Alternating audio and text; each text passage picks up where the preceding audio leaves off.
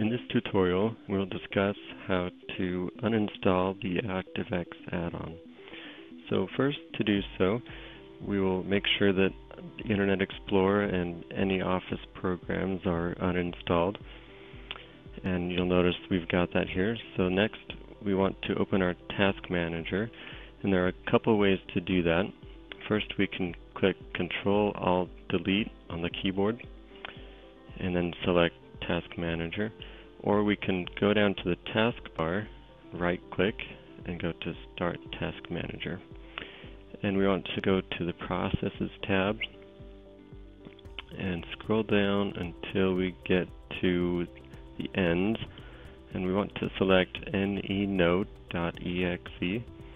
and we want to end that process. The nenote process is basically the ActiveX.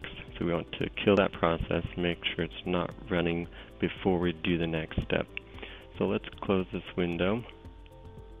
And next we want to go to both of these locations. Let me open them up here. You'll notice the first one is this file path here.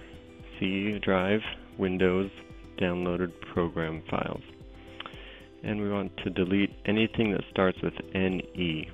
So that's any note, any web, any WebCL, um, all three of these.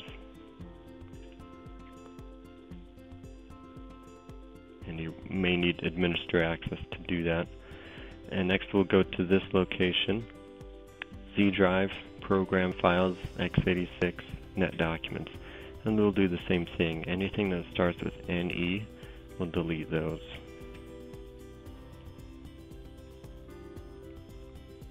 Now, of course, these files may not exist in one of these locations. It'll at least be in one of those, possibly both.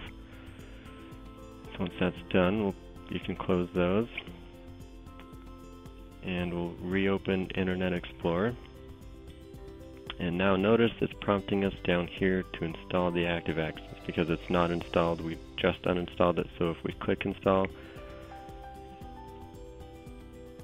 and it's reinstalled now, and you can go ahead and log in.